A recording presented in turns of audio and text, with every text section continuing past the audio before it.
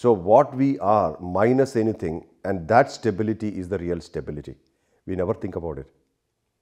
We never think about it. If you ask somebody, who are you? I am doctor, I am engineer, I am so and so. Their profession, that means the status. Or their possessions, means I am a rich man, poor man, you know, all those things. Or I am in relation with somebody. I am this man's son or this man's father or something like that. So apart from that, we have no identity.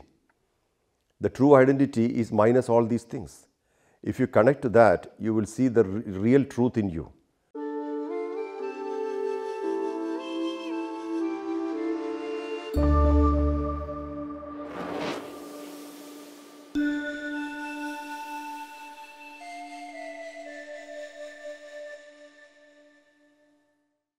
Our usual identification is connected to three things position, our possessions, and our relations. You are minus all these three things. You see, that identification we never come across in a, in a day, in 24 hours. Because if, if at all we have any space with, without identification, that time you are unconscious. Dream state, deep sleep state, where you have no identification. You don't know whether you are a man or a woman. You don't know whether you are in Canada or in India. But you are existing. There is something in you which is active and alive. So we don't ever connect to that thing. We are so addicted to our individual identity and we are happy with it. You know, position, possession relations are, are our addiction. You know, that's what we tell everybody. Usually the society has a one track journey. Child is born, education, job, marriage, children, house, retirement, children's children, death. That's it.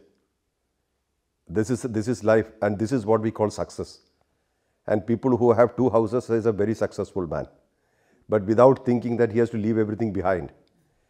So what we are minus anything and that stability is the real stability. We never think about it. We never think about it. If you ask somebody, who are you? I am doctor, I am engineer, I am so and so. Their profession, that means the status. Or their possessions, means I am a rich man, poor man, you know, all those things. Or I am in relation with somebody. I am this man's son or this man's father or something like that. So apart from that, we have no identity. The true identity is minus all these things. If you connect to that, you will see the real truth in you that, that's, that's very painful, right? You don't have to run away, you don't have to segregate, and, and escapism is not a solution. You don't have to leave anything at all. Being in all this, being fully aware that you are none of this, that's power. That's the strength. You know, being in everything, you be all the roles you play in a day, in a life, but being fully aware that we are nothing, none of this. You know, that's, that's amazing, isn't it? So the less impact from the emotional world. If somebody calls you, you are not so good, it doesn't matter. That's their opinion. So you will be less affected. The more affected you become, the more uh, vulnerable you become and the more uh, tired you become. That's how people get depressed. Expectations fail, you go to depression. You know, mostly the root cause of uh, failure is our lack of calculation. But if acceptance happens, every failure is a lesson. There's no failure in life. You know, life has been given, it's, it's a given thing. You, you took this life. You did never chose that I will be this person in this life. It so happened that you, you chose this life. And then uh, in this life, you have boundaries. Birth is one boundary, death is one boundary. You cannot change these two. Within this, we have a life, existence out of which a major part of it goes in dream state and deep sleep state every day in 24 hours. So if you calculate like 80 years, it's 29,000 days, 29,200 days. Out of this, a lot of time is gone on uh, sleeping, eating, dressing up. Then rest of this, we are struggling to maintain our position here. You know, the fears are connected to losing things. Losing position, possession, relation.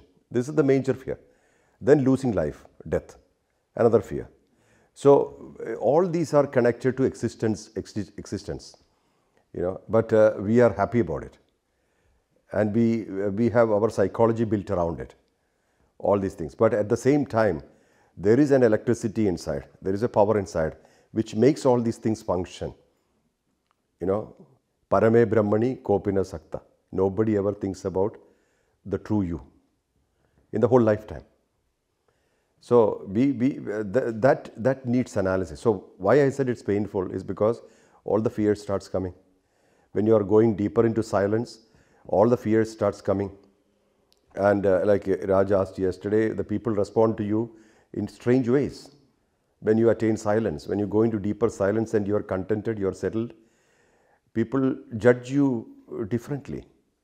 They sometimes say that you're an escapist, or sometimes they say that um, you don't know what you're doing, or mad, like Sai Baba's case. People called him mad. He was in ecstatic state. So all these things. So it's painful in the sense like you got to let go of all these things. It's not easy. You know, you may think it's easy. It's not easy.